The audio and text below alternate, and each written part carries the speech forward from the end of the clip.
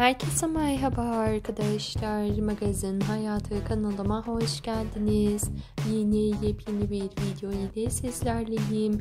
Arkadaşlar videoma geçmezden önce eğer hala kanalıma abone değilseniz lütfen abone olup ses sesini açık bırakmayı ihmal etmeyin ki yeni videolarımdan haberdar olasınız.